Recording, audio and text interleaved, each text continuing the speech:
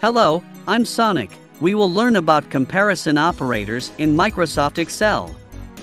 In the last video, we have learnt about arithmetic operators, plus the percent and the caret sign. Now, we go ahead with six types of comparison operators, equal sign, greater than sign, less than sign, greater than or equal to sign, less than or equal to sign, and not equal to sign. To note the following if it's true or false. First one, the equal sign. Let's make a new example again, say 5 in the cell A1 and 5 in the cell B1. What you can write as an output of the following in cell C1. That is A1 equal to B1. The output is true. Otherwise, false will be displayed if you used the wrong operator. Secondly, the greater than sign. Let's say 7 in the cell A1 and 5 in the cell B1. What you can write is a1 is greater than B1 must show true. Thirdly, the less than sign. Let's interchange the numbers 5 and 7.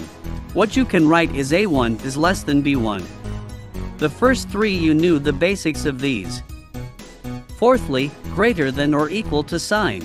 That will be similar to greater than sign like we did in the second ones. That is A1 is greater than or equal to B1. Fifth, less than or equal to sign which is similar to less than sign like we did in the third ones, that is A1 is less than or equal to B1.